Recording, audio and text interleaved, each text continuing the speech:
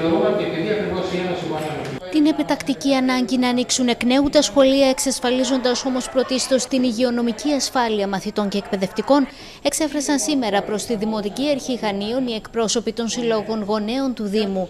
Στη συνάντηση των δύο πλευρών, οι γονείς ζήτησαν από το Δήμο να γίνει σύμμαχός τους, ώστε οι σχολικές μονάδες να επαναλειτουργήσουν με ασφάλεια όταν ληφθεί η σχετική απόφαση. Είναι το ζητούμενο για μας, δεδομένου ότι εκτιμούμε ότι όλη αυτή την περίοδο επί της ουσίας δεν έγινε κανένα βήμα που θα οδεύσει τα σχολιά στο να λειτουργήσουν όπως πρέπει κανονικά. Ουσιαστικά τους ζητήσαμε όλη την αλλογραφία για το θέμα, ούτως ώστε να πιέσουμε και τις διευθύνσεις πρωτοβάθμιας και συνολικά το Υπουργείο, γιατί αισθανόμαστε κάπου από τον Άννα στον Καϊάφα, ο ένας έχει αρμοδιότητες, ο άλλος δεν έχει και τελικά δεν βγάζουμε και άκρη δηλαδή με όλη αυτή την κατάσταση. Η διαδικασία για έκτακτες προσλήψεις διαρκούσε μέχρι 28 Φεβρουαρίου και έλυγαν οι συμβάσεις μέχρι 30 Ιουνίου.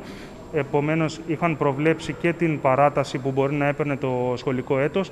Τώρα, αν παραταθεί εκ νέου η όλη διαδικασία του σχολικού έτους, θα πρέπει να υπάρχει και μια αντίστοιχη νομοθετική ρύθμιση που να προβλέπει τις επαναπροσλήψεις. Μεταξύ των όσων τέθηκαν επιτάπητος ήταν αφενός ο αριθμός των μαθητών ένα τμήμα και αφετέρου ζητήματα καθαριότητας και απολύμανσης των σχολείων. Το θέμα εξέβρεσης χώρων για να μπορέσουν να λειτουργήσουν τα σχολιά στη σχέση 1 προς 15 τις μεταφορές των μαθητών, που επίσης είναι σοβαρό θέμα. Το φαινόμενο με τον κορονοϊό δεν, θα, δεν τελειώνει τώρα.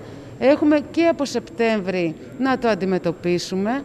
Οπότε θέλοντας και το Δήμο σύμμαχό μας, στις αγωνίες μας και συνεργάτη μας, να μπορέσουμε να δούμε εάν υπάρχουν και εφόσον υπάρχουν επιπλέον αίθουσες να ανοίξουν, να αραιώσουν τα τμήματα των παιδιών. Από τα 108 άτομα που έχουμε ορισμένου χρόνου και αορίστου χρόνου έχουν πάρει ε, περίπου άλλα 65 και με την ε, κοινοφελή εργασία για να συμπληρώσει το ποσοστό αυτό ε, στην, στην καθαριότητα των χώρων. Για το θέμα της μείωσης του αριθμού των μαθητών ανατμήμα, ο αρμόδιος αντιδήμαρχος υπογράμμισε πως υπάρχει δυνατότητα παρέμβασης σε αυτό, αν και περιορισμένη. Έχουμε βρει κάποιους διαθέσιμους χώρους, οι οποίοι είμαστε έτοιμοι μετά από μια υπόδειξη της διεύθυνσης πρωτοβάθμιας ή δευτεροβάθμιας να τους διαθέσουμε, όπως είναι αυτοί οι χώροι, οι αθλητικοί χώροι, αλλά και πολιτιστικοί, όπως είναι ο χώρος του ΚΑΜ, αλλά και οι ρώσικοι στρατώνες, έτσι ώστε να μπορέσουν τα παιδιά